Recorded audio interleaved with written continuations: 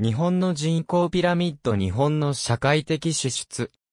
緑は医療、赤は年金、紫はその他マクロ経済スライド、またはマクロスライドとは年金の被保険者の減少や平均寿命の伸び、さらに社会の経済状況を考慮して年金の給付金額をカットする制度のことを言う。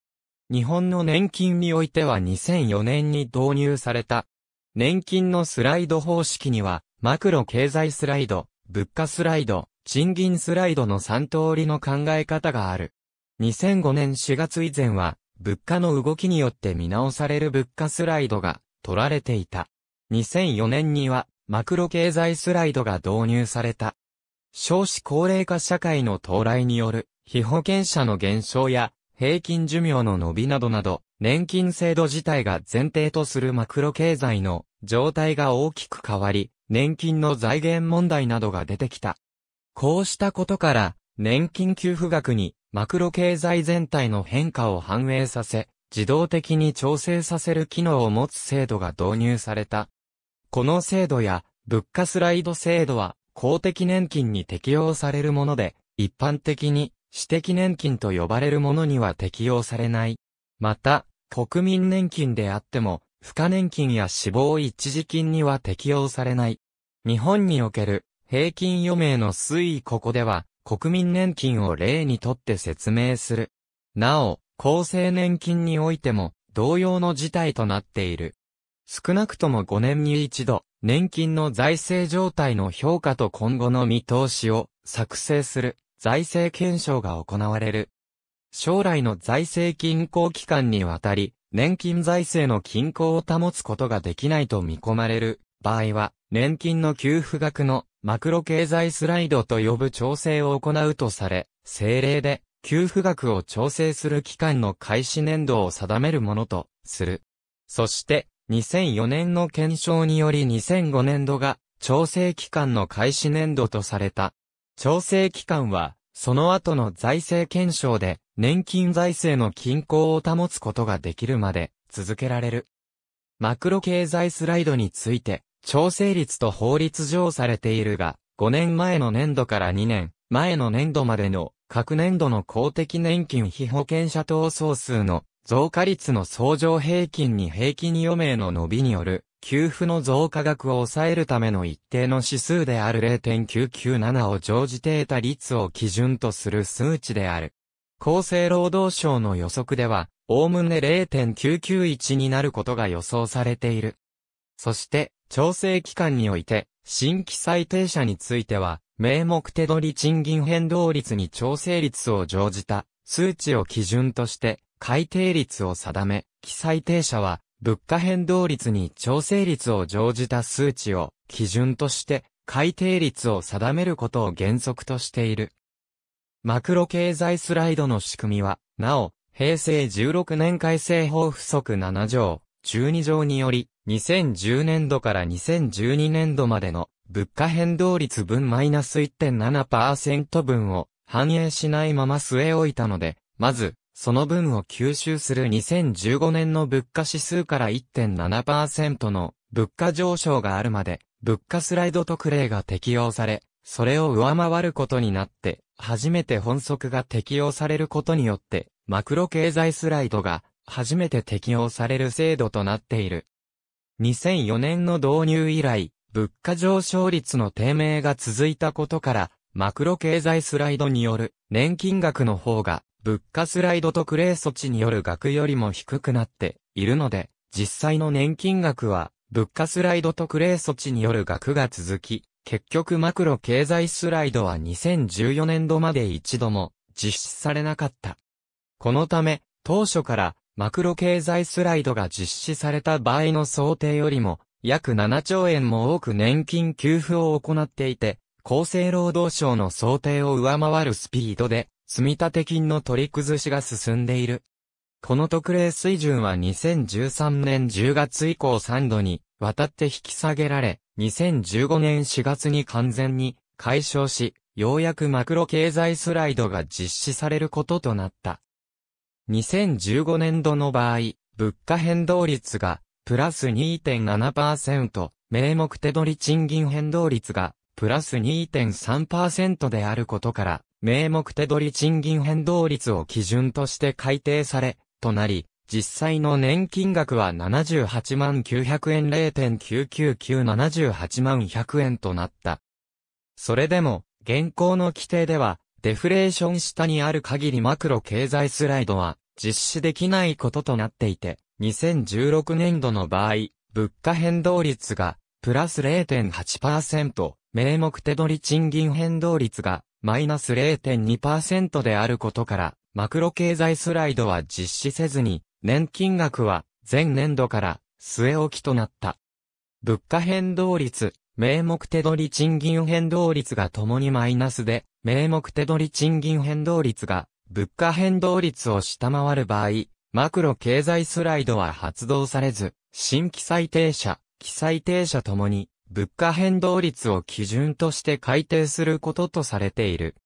2017年度の場合、物価変動率がマイナス0.1%、名目手取り賃金変動率がマイナス1.1%であることから、物価変動率によって改定され、となった。2019年度の適用例2019年度は4年ぶりに、マクロ経済スライドが発動されることになった。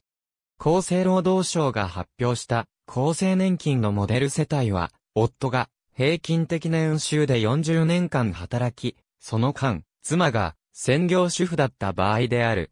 そのモデルによると2018年度の厚生年金の給付額は夫婦二人分で月額22万1277円であった。2018年度は物価と賃金の変動率が約0.6%増であったので2019年度の支給額は2018年度の支給額より月額1362円増額し、月額22万2639円の支給となるところであったが、マクロ経済スライドの発動により2018年度のマクロ経済スライド分約0.5%がカットされ約0.1%増となり、月額227円の増加にとどまり月額22万1504円の支給となる。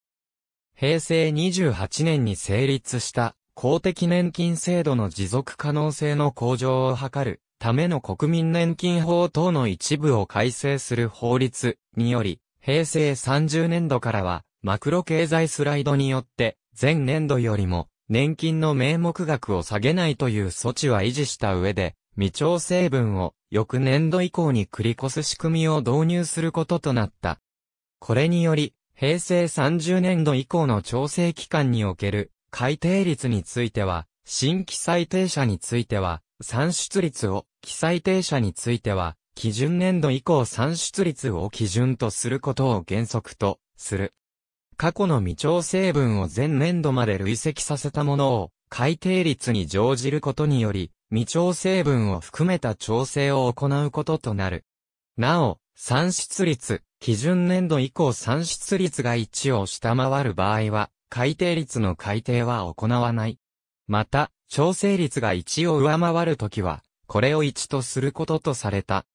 つまり、新規裁定者の改定率は、前年度の改定率に算出率を乗じたもの、記載定者であれば前年度の基準年度改定率に、基準年度以降改定率を乗じたものが、それぞれの改定率となる。なお、平成29年度の特別調整率は1とされ、以降は毎年度を基準として改定する。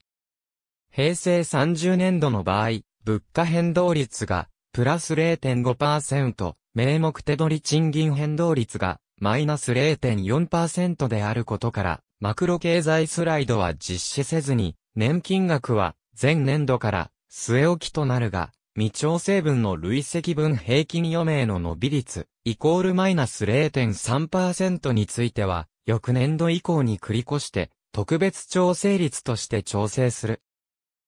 平成31年度は、物価変動率が、プラス1.0%、名目手取り賃金変動率が、プラス0.6%であることから、マクロ経済スライドが発動され、本来の改定率は1.004となるところで、あるが、前年度のキャリーオーバー分が繰り越され、となり、であるから、平成31年度の老齢基礎年金の満額は78万900円0.999イコール78万100円となる。日本総合研究所の西沢和彦によると、マクロ経済スライドは、実に上でわかりにくい。ネーミングも何を意味しているのかわからない。なぜこのような手法を取るかその理由は次のようなもので、ある。目に見える形での年金額のカットに対しては、国民の心理的抵抗が強く、合意は到底得られない。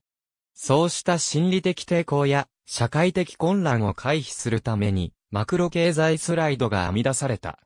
マクロ経済スライドは、年金額そのもののカットではなく、毎年度の年金額の増え方を抑えることで、段階的に給付抑制を図る。増え方を抑えるのであれば、国民にも給付抑制であるということすら気づかれにくい。そのため、あえて、無縁で、わかりにくい、マクロ経済スライドという方法が用いられた。しかしこのようなことは子供騙しである。もう一つの問題は、物価上昇率がマイナスだったり、賃金上昇率が低くかったりして、マクロ経済スライドが発動されない年が多い点である。現時点でマクロ経済スライドが発動されない年が多ければ、その付けは、将来世代の一段の給付抑制か、保険料率引き上げなどの負担増として現れる可能性がある。世代間の公平を考えれば、現在の高齢者ほど大きく負担して叱るべきであるが、将来世代ほど大きな負担になっている。新聞赤旗が2014年の財政検証の結果をもとに、現役時代の賃金水準別に年金支給額を比較したところ、マクロ経済スライドによる実質削減により、現役時代に低賃金だった労働者ほど年金支給額がより大きく目減りする結果となった。ありがとうございます。